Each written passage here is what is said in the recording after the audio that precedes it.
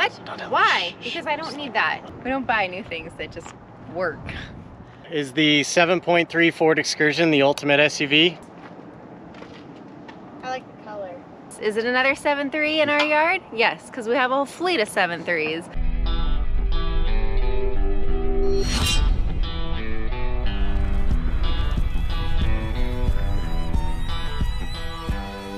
Hey everybody, what's up? Welcome back to another episode of Chasing 518. Quick one today. A lot of you have seen this thing in the background of some of my other videos and you've asked what's up with the Excursion.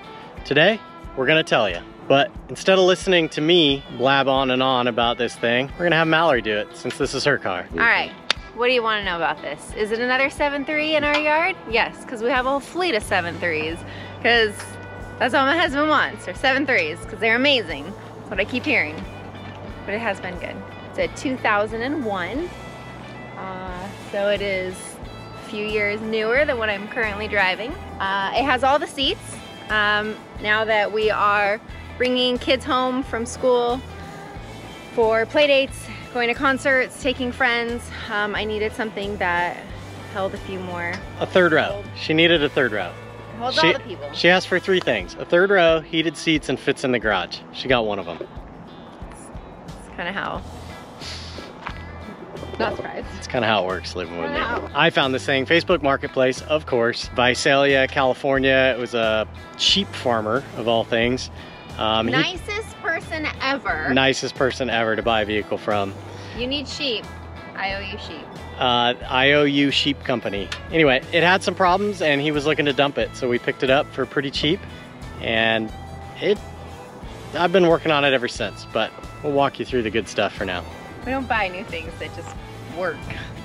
So far, you have gotten me new tires and wheels, and it's beautiful. It had a six inch lift when we got it, which it still has, but That's Um, gonna go away. it's gonna get lowered a little bit. A little bit. what? Don't tell me. Why? Because I don't need that. It is unnecessary for me to sit as high in the air as it currently does.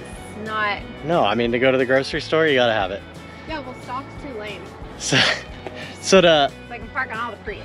to fit the lift, I put some 37 inch Mickey Thompson Baja Boss ATs on it, uh, the all-terrain. She doesn't need the mud terrains like like I've got on um, on my truck and the race car and stuff. So 37 inch Baja Boss AT on a 17 inch Raceline Rogue wheel. I thought the matte silver matched the silver kind of cladding or trim on the Excursion just perfect. What have we done so far? Oh, we gutted it. We, We- took out the seats. We took out the carpet. We took out the upper console. Um, everything in here came out. My children and my husband spent a day and a half cleaning upholstery. I spent half a day cleaning upholstery because I was working. Um, Kevin cleaned the carpet. We took all the plastic off. Every piece of plastic came out and got washed. I think I have a legit probably 36 hours into cleaning the interior, and most of that was with it outside of the vehicle. Madeline even pressure washed the carpet. Huh. hmm Yeah, carpet was so bad we just straight pressure washed it on the driveway. And they did a beautiful job. It looks amazing inside, like a brand new car. Excursions came with just a two-piece overhead console to to house the rear controls and the front controls, but this one had some aftermarket console It's honestly really poorly made.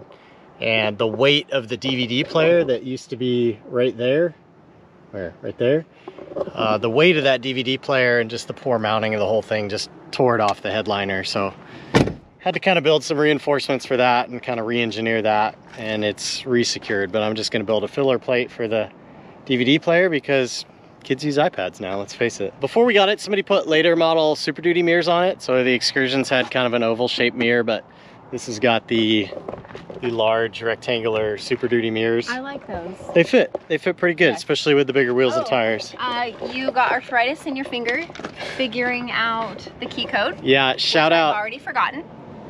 Wow, I've got it written down for you somewhere. Uh, shout out to Geeks 4x4. He made a video on if you don't know your keypad sequence, how to find it, and I found it, and it was pretty deep in the algorithm of keypad sequence, but uh, we now have the sequence and it's pretty cool because you can lock, unlock the doors from the keypad. So that's pretty handy. It needs a new paint job still.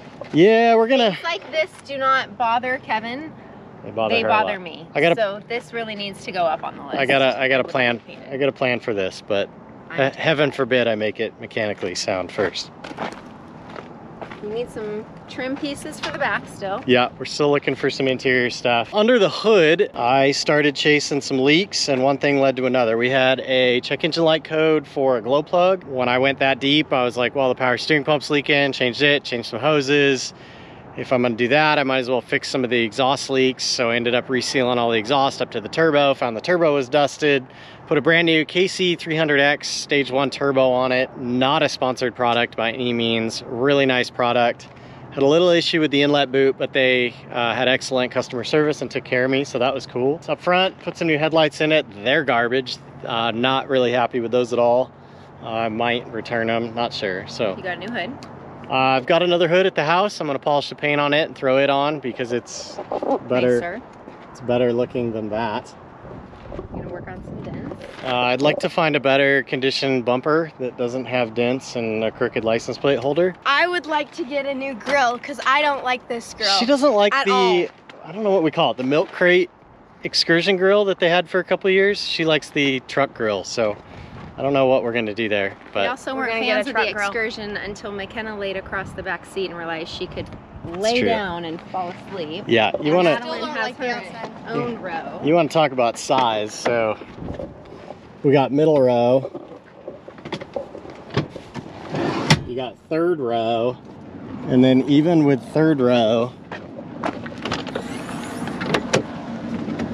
Diesel row. diesel row. You've got uh, our dog Diesel. Um, still has full cargo space back here. So um, the third row seat pops out, uh, kind of quick release style. So if you wanted to ditch it, you could, and then you'd have a ton of room. The second row will fold down, and then you could fit a full four by eight sheet of plywood on the floor in the back. So if you wanted to sleep in this thing or something, you could. Mallory talks about camping with the girls in it. So there's Tent camping. There's, uh, it's elevated. there's some options It'll here. Be bougie tent camping. bougie, not on the ground. We're not into it for too much money at this point. We've got two kids, and if you think about the duration in which you need a third row, it's a pretty short window. This 12 year old right here will be driving in four years, and then Not four, three, You were not 13 yet. almost, No, four. almost.